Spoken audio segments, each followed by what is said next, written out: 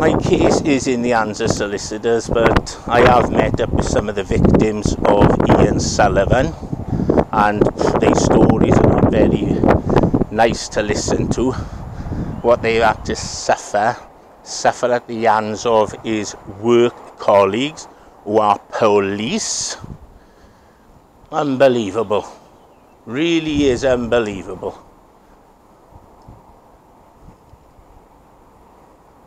I doubt very much an inspector will come out because I'll be asking him straight away why they covered it up.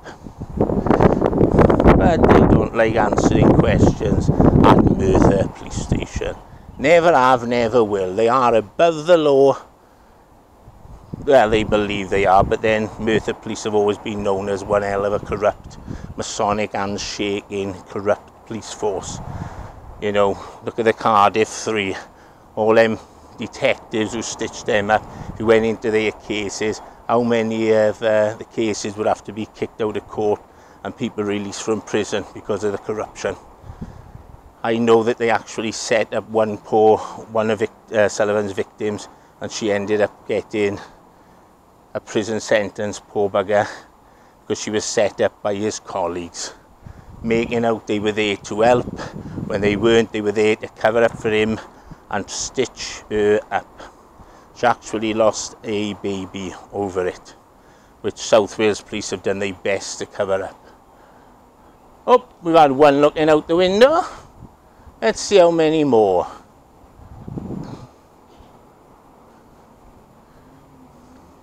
How many more? Are they going to come out?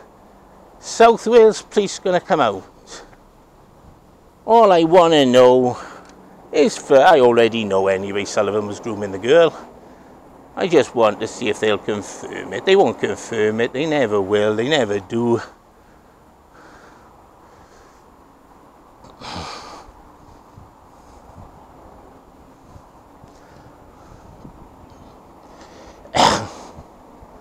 so, seems very quiet here today. I'll be going in now to see if uh, Shaz has someone to come out and see if they'll come out. And you just love catching dirty, disgusting sex predator police out. I was I had to go to Cardiff a few weeks ago and I had a taxi down, I couldn't be bothered driving. And then me and the taxi driver was laughing, saying about hand-job taxis, the police used to run all at the taxpayers' expense so they could get a shag or a blow job. And we were just, we were naming the coppers. We said, remember, so-and-so, so-and-so, going aye. And he was one of the ones, he was one, he was doing this, he was doing that. That's it. And the two worst places in Wales for the police trying to stitch anyone up is Merthyr Tydfil and Swansea. And guess where, where most of these paedophiles fucking work? And men that beat their wives up and groom children. Unbelievable. Right, I'm going back in.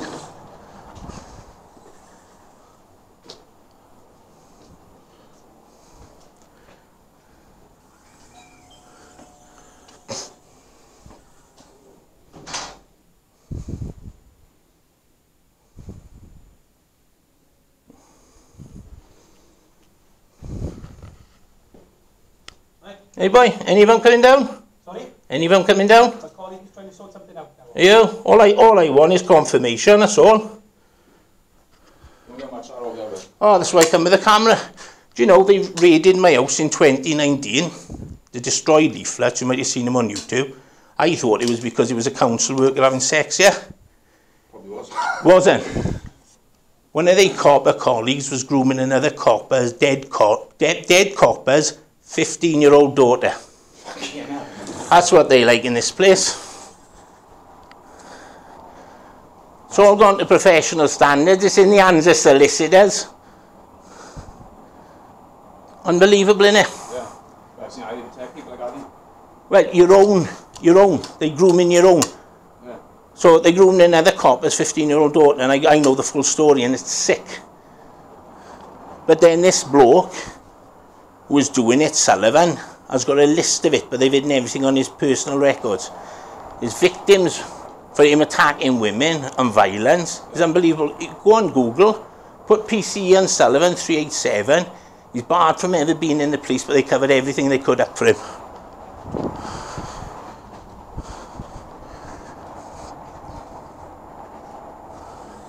So if you go on to YouTube, so I've got a YouTube channel, go on to at 270 John O'Connell.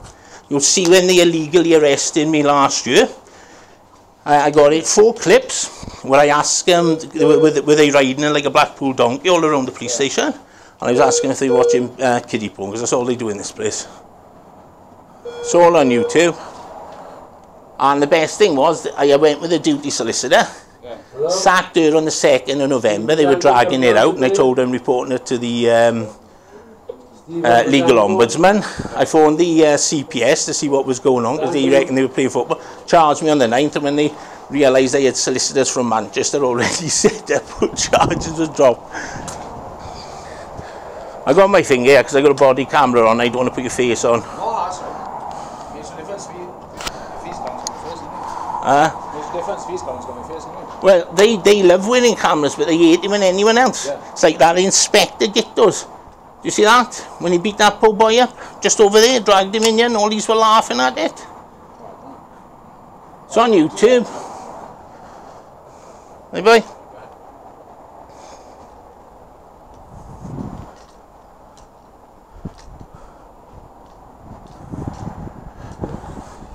There we are, people. One of them's gone running off to see him find someone. Well, they actually come down. That's the problem. You've texted them, man. It's my mother, it is. Uh, my number would be like this. Because what they like doing you is keeping you for 11 hours. They pain in it, but unbelievable. And the biggest bunch of nonsense on the planet. Who'd you leave? Who'd you, who would you leave your kids with? Pakistani grooming gangs or South Wales police? Neither one. No. Neither one. Full of paedophiles. Rapists, you name it, they just cover up for each other. You want bail? Yeah. Don't speak truth things. I, I, this records as well, so yeah. I'm innocent anyway. What's that? I'm innocent anyway. Then they stitched. Worst two places in Wales for them stitching people up is Merthyr Tydfil, and that was from a government thing done in London, and Swansea. Worst two places. Do you go on YouTube? Yeah. Go on to at John O'Connell 270 Yeah. And pull up mine, and you'll see mine. Yeah, yeah. the corruption in this place. Last time I was illegally arrested for distributing leaflets because I thought I was illegally arrested in 2019 because they named a council worker they were shagging all over this place. It wasn't. A PC Ian Sullivan 387 was grooming his dead copper colleague's 15 year old daughter. So if they're doing that to their own, what they doing to other people? Exactly. Lived in Merthyr long, from Merthyr? I'm from Rhondda. Ah, they're just as bad over there though, and it's all Northern Division. Yeah. I'm from the Rhondda, but I live in Aberdare. Nice area, Aberdare. Nice and quiet, like. That's, that's what you want, really, innit? Yeah. I'm up mountain most of the time with my dog anyway. Yeah, I, I well, my knees are gone now and that, but uh, I used to live with, with my dog. We'd be up um, every I tell you where we used to go. What's that uh, park in Aberdeen? You drive down, they do the horses and that. Oh, I know, I know Come there, is it? Yeah, Come it, yeah, there. Yeah.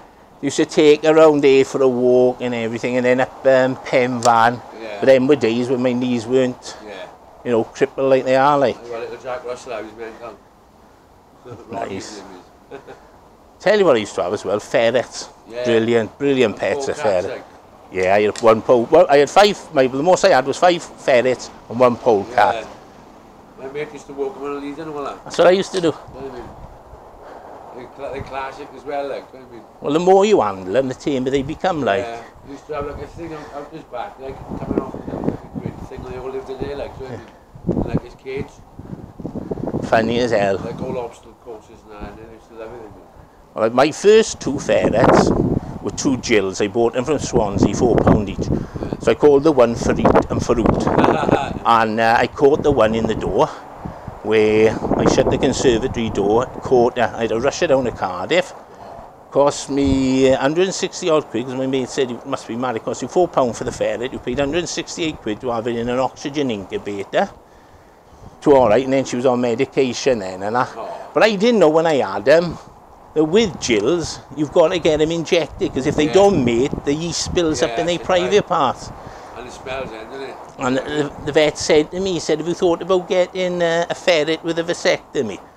Oh, the hell, No. how many people come across a ferret with a vasectomy? You're No. crying out loud.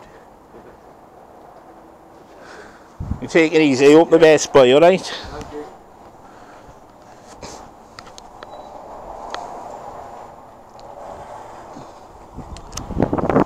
Here we are, people. Another lad who basically said South Wales police are corrupt as hell. Are corrupt as hell. But most of you know this place anyway, Merthyr, don't you? You've seen how uh, an inspector beat up a poor boy. And what's, he, what's better is that you all actually heard it was the best thing to ever happen he'd done in his life for a good while. Beating up a little kid. I think I'll be blue in the face until these come. I won't have any of them, because whenever I come down, none of them will ever come out. And when I ask them about my illegal arrest in 2019, they shut off completely, as you've seen the last one. We know nothing, we know nothing, we know nothing. Police's favourite saying, we know nothing. They never have it, though, when people say it back to them, we know nothing.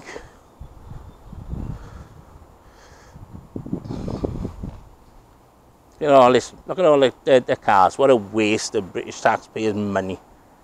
Paying for all these vehicles for people that are no good for anything. I'd make every cop, before they join the police, do two years military service. Even if they don't go to conflict, they still have to do it. Then it'll weed out the dregs. So unfortunately, that's what South Wales Police and a lot of other police forces do. They take the absolute dregs of society and put him in. As we've all seen, the amount of rapists and paedophiles now that can join the police force. It's already bombarded with paedophile and rapists. There we are, we're going to chuck some more in. Let's go back in and see how they're progressing.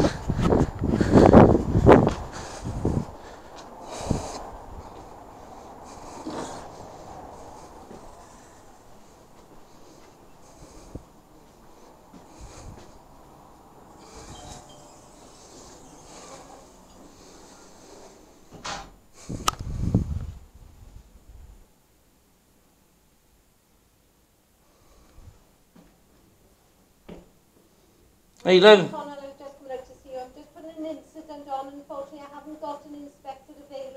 oh, it's ah, weird, because last time I come down, none of them would want to come out. In fact, many times I've been down here. Right, we just finished. He's in Pontypridd at the moment. Oh, is he? an incident on, and somebody will ring and arrange an appointment for you. Yeah, because at the end of the day, they've already got my number, you don't need it. Right, What's disgusting is... If the police are grooming their own dead colleagues' children, what are they doing to other people's? I've already spoken to professional standards and to other police forces. Give me the paper and pen and I'll write it down. As,